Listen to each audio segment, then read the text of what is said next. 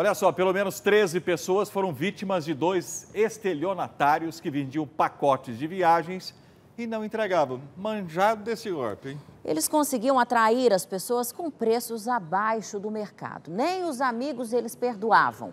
Um amigo de um dos criminosos teve prejuízo de 8 mil reais. O homem prefere não ser identificado. Ele mora em Goianésia e diz ter comprado do suspeito um pacote para oito pessoas para Natal, no valor de 8 mil reais. Até então, tudo parecia certo. Pelo localizador, dava para ver no site da Gol que as passagens estavam lá. Só começou a desconfiar do golpe quando as reservas foram canceladas. Eu entrei em contato com, a, com o hotel e eles disseram que a pessoa que, que fez a reserva ligou e cancelou as reservas. Os pacotes foram vendidos por Iago Lima Santos, de 27 anos. Sempre que era cobrado pelos pacotes, dizia que estava com problemas de saúde ou colocava culpa no suposto sócio, Bruno Campos de Oliveira, de 37 anos. Não sei nem se ele fez. Se ele fez para cair amanhã, amanhã entra na conta, mas ele está online e não responde.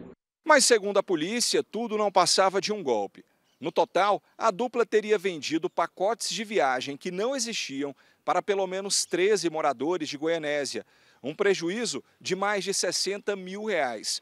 Para justificar os preços abaixo de mercado, diziam que as passagens aéreas e os hotéis seriam pagos com milhas. Ele chegava a comprar, então emitia os boletos, emitia o código de reserva, emitia a passagem aérea, só que posteriormente esses, esses boletos eram cancelados.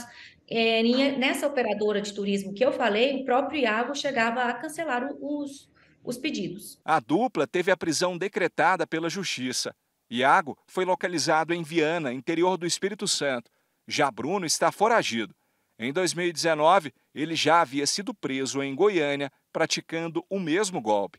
Ao digitar ali, uma das vítimas tomou cuidado de digitar o número, o nome de, do Bruno é, no Google, e aí ele veio a perceber que o Bruno já tinha sido preso, já respondia por esse crime, então tem vários processos aí.